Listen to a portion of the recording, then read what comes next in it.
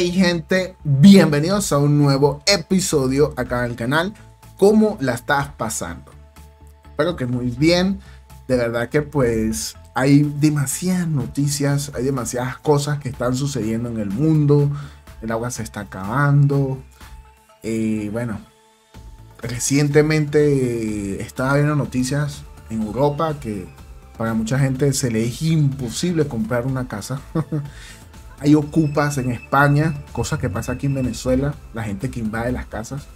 Yo pensando que eso no pasaba en otro continente. Y bueno, hay muchísimas cosas que suceden por allí.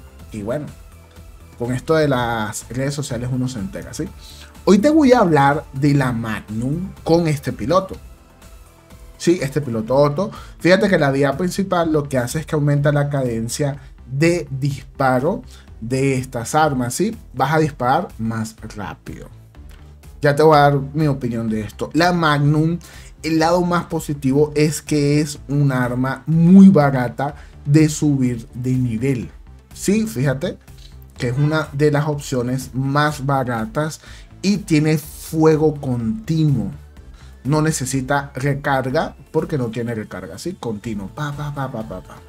Utilicé al Kepri porque fue lo mejor que funcionó con esta combinación y quería testear 4 Magnum.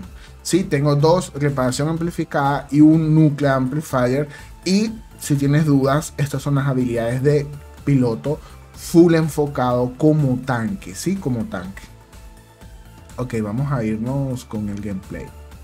Lo primero que te voy a, decir, joder, esa habilidad de aumentar la cadencia de disparo, en lo particular no me gusta. No lo veo competitivo. Mi experiencia en campeón, ojo, en campeón es que entre más rápido disparas y haces daño, más se activan los escudos de los drones. Ahora, ¿cuál es el lado positivo con la Magnum? Sí, la Magnum hace 3000 de daño. Hace 3000 de daño. Entonces, no todo el tiempo te pasa eso. La Redeemer, si te pasa, la Taran también te va a pasar. Eh, las armas nuevas ni se digan. Entonces, ese es otro lado positivo que tiene la Magnum. No, no se va a activar tantas veces los escudos de los drones, ¿sí? A diferencia de las otras armas. Ok, otro lado que diría que es el negativo. Si en tu liga, porque todo depende de tu liga, te encuentras con muchos Kepris con escopetas, te parten. En un 1 a 1 te parten. Te tocaría ir hacia atrás, te tocaría ir hacia atrás y eh, abandonar la baliza. Entonces yo digo que eso no es muy competitivo, sí, pero es lo que te tocaría porque si te quedas en un mano a mano con las escopetas de enemigos te parten, ¿sí? Te parten brutalmente, eh, son demasiado OP.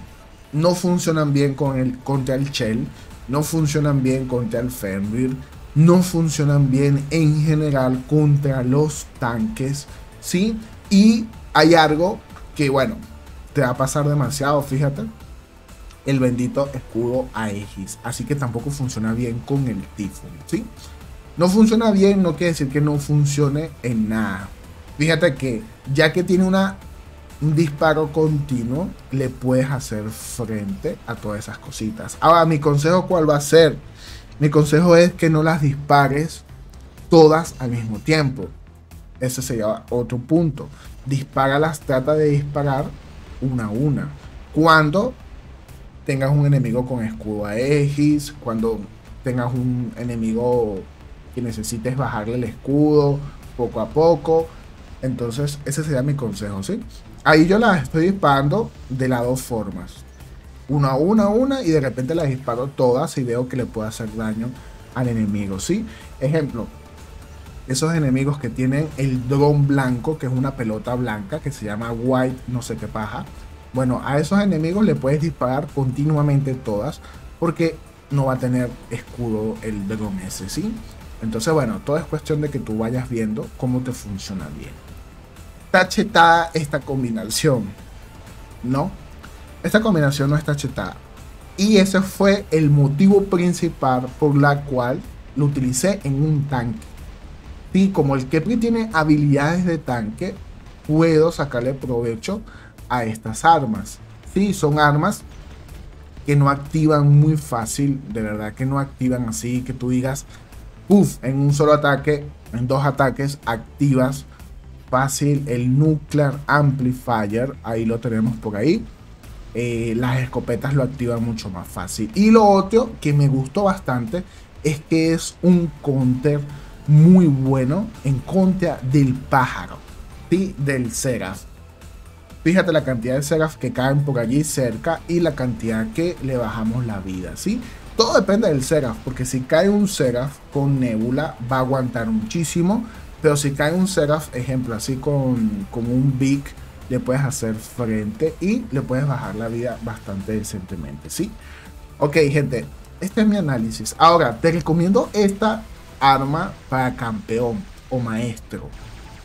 Sí, porque son muy baratas de subir de nivel. Ese es el lado más llamativo de esta combinación. Tendrías que gastar un poco de AU en el piloto. Bueno, si lo consigues más adelante todo está disponible en el juego. Pero es una combinación que sí es interesante y sí tiene un muy buen futuro. Ahora, como ya sabes que no funciona bien en contra del Fenrir, contra el Tifon tienes que disparar cada arma por separado. Bueno, ya sabes cómo enfrentarte a esos enemigos. Si tú juegas en Día Campeón y te sale esta cantidad ridícula de Seraph, bueno, yo no, yo no te diría que no sirve, pero quizás alguno que otras partidas vas a sentir que no sirve porque te pueden matar extremadamente fácil dos o tres Seraph. ¿sí? Un Seraph y un Kepri con escopetas te puede matar extremadamente fácil. Te lo digo porque me pasó mucho. Cuando me pasó eso, lo que yo hice fue utilizar un drone nebula. Sí, entonces todo depende de, de cómo son tus enemigos. En esta partida utilicé el drone Big, ¿sí? las dos veces porque bueno, me estaba funcionando contra estos enemigos. Pero si te salen enemigos que tú ves que aguantan demasiado, te hablo del Seraph con Nebula, del, del mismo Kepri con las escopetas. Bueno, te tocaría utilizar un Nebula o un Persephone, cualquiera de los dos, para que puedas hacerle frente a esos enemigos. Pero sigue siendo bastante funcional. Yo le coloco una calificación de 8 porque me parecen que como son tan baratas, no van a ser balanceadas negativamente. Puede ser que sean balanceadas positivamente. Y puede ser que más adelante saquen un módulo que aumente muchísimo más el daño. Y estas armas se vuelvan más interesantes. Bueno, cuando yo hago estos análisis, gente, le coloco una batalla de fondo para que ustedes vean más o menos de lo que yo les estoy hablando, ¿sí? Tampoco es que, bueno, no te van a matar nunca, ni nada de eso, vas a hacerte 10 millones de daño, no, no, bájate de esa nube. Es un arma que funciona muy bien y con este piloto va a funcionar mejor gracias a su dinámica de fuego continuo. Sí, fuego continuo, fuego continuo, fuego continuo. Eso es lo que a mí particularmente me llamó la atención. Yo hice este video tarde porque al principio, cuando salió este piloto, lamentándolo mucho, tú le colocabas la Magnum y la habilidad del piloto estaba como que sí, no sirve, ¿sí? Entonces yo supuse que, es que no servía. Hoy en día sí aparece la habilidad del piloto activa, la principal. Entonces vi que funcionaba mil veces mejor. Antes yo decía, pero disparo igual que siempre. Y bueno, es porque antes no funcionaba. Bueno, mi gente, espero que la sigas pasando muy bien. Vas a ir a atacar a los enemigos para que veas contra quién nos enfrentamos gente de nivel MK3, MK2, para que más o menos sepas. Eso es algo fundamental que les doy como consejo. Cuando vean a alguien que les da consejos a ustedes, vayan a ver si aunque sea muestran a un, enemigo. Eh, para que ustedes vean cómo funciona y contra quién está funcionando, ¿sí?